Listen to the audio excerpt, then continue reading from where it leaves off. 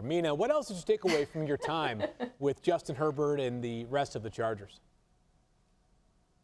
Well, you know, Field, as you saw there, we're talking a lot about leadership and sort of different ways to lead and what leadership looks like. And as I alluded to, there were questions coming into the draft, you remember, about Justin having a more quiet personality and what it would look like for him to lead. And what you don't see in that interview is I also had the chance to talk to some of his teammates uh, both from Oregon, but notably with the Chargers. And I remember talking to Keenan Allen about that start where he gets the call literally 15 seconds mm. for the game. Mm. And Keenan, at that point, he said to me he remembers maybe catching like one pass from Herbert all summer. And then all what? of a sudden it's week two, you're playing the Kansas City Chiefs. He's running out there. Hunter Henry has no idea. He thinks it's like a prank. And Keenan tells me, you know, I, to me, that was where Justin, it became so obvious to me, not only that he could lead, that but that he would lead the team because the guy comes out again with very little preparation, very little notice, balls out. At one point in that game, I remember he trucked a linebacker. Keenan remembered that clearly, but he also just remembered watching him on the side, you know, while he was on the field and thinking, oh, right, this is how this guy leads. He leads through action.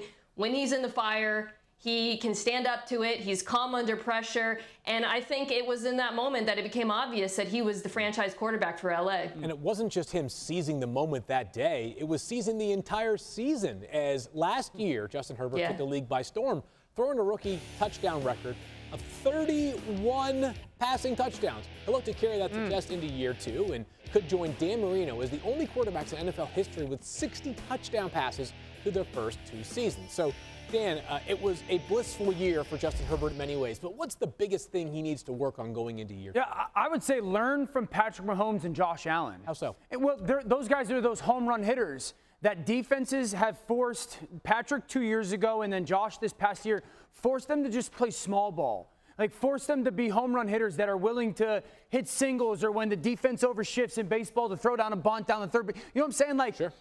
Justin had so much success throwing the ball downfield last year. He's this big six foot five, 240 pound quarterback, and he's got an absolute rocket for an arm. So he had so much success throwing the ball downfield last year. So you come in as this big talented guy, you're offensive rookie of the year, you break the rookie touchdown passing record, and you got to do some self scouting.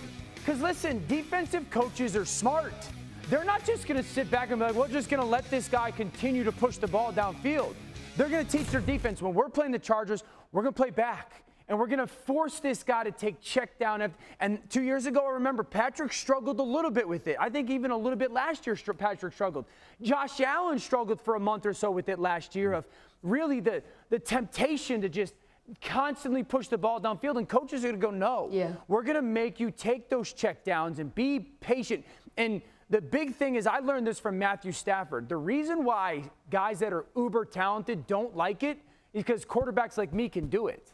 Does that make hmm. sense? You know what I'm saying? Like, those guys can do things that I can't do, so they don't want to do things that I could do. I could throw a check down, and, and it's the, it's the, yeah. the discipline to not to give in to the temptation because – Mm. if you constantly think I can do anything and push the ball downfield whenever I want, it gets you into trouble. And I think that's a huge self scout moment for Justin Herbert this offseason. I could not agree more. It really is going to be about that counterpunch because what did the Chargers do incredibly well, or what did Herbert do incredibly well last year? Deep ball, play yeah. under pressure, yeah. extending plays. What did they not do well? They actually didn't have a very efficient rushing attack right? And some of the underneath stuff from a clean pocket was less efficient. So if I'm a defensive coordinator, I'm thinking, I'm not blitzing this dude. Right. I'm I'm gonna hang back, yes. play too high, do what we did to Mahomes and Allen. And Dan, you remember week one of last season. Kansas City against Houston. Mm-hmm. That's exactly what they did. They didn't send a lot of pressure. They forced yeah. Mahomes to, yeah, pew pew his mm-hmm. way down the field, and yep. he did it mm-hmm. because that was a sign of his maturation as a quarterback. Oh, I, am the I'm the greatest quarterback in the world, but I don't have yeah. to be in right. this moment. I'm going to take what the defense is giving him, and I think that Justin Herbert is going to see a lot of similar uh, tactics. Uh, from defenses, and it's incumbent not only on him, but also uh, uh Joe Lombardi, who's the new offensive coordinator, to prepare this offense for those sorts of defenses because I think they're going to face them a lot. And that's, Mina, why you saw the Chargers devote as many resources as they did to the offensive line during the offseason. They know they had one of the great young quarterbacks in the game. And so they go out and sign Dan Feiler from Pittsburgh, Corey Linsley at center, draft Rashawn Slater in the yeah. first round. So you put in all these new starters on the offensive line, talented guys up front who are going to protect your franchise and guard against the things that opposing defenses are going to try against this offense. You see the offensive line. It should be on paper upgraded right. over what it was last year. And you've seen other quarterbacks comment on their offensive line. Justin Herbert has to be really pleased with the way that this organization addressed that area going into this off, going into this regular season. Yeah, Schefty, I think it's a great point to talk about the upgrade that, and, the, and the, the window that they realized that they had, and so to fix the offensive line. Mina, you brought up Joe Lombardi, the offensive coordinator. I think he's a huge part of this equation when it comes to Justin Herbert yeah. being as good as he should be or the MVP. I was with Joe. I'd say the word for Joe and Justin Herbert is cohesion. Joe Lombardi is a very smart coach. He came over to the Lions from the Saints with us, and I would say the thing that was the big issue is he never saw football the same way as Matthew Stafford.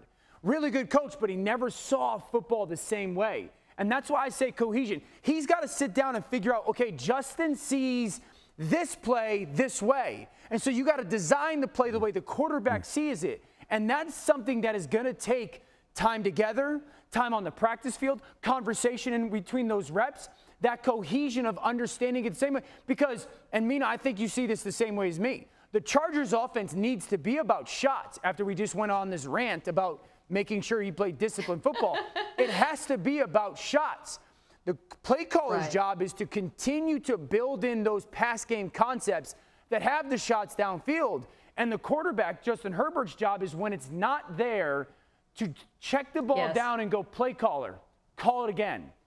Check the ball down, call it again. Check the ball down, call it again, because eventually he'll hit it. Thanks for watching ESPN on YouTube. For live streaming sports and premium content, subscribe to ESPN Plus.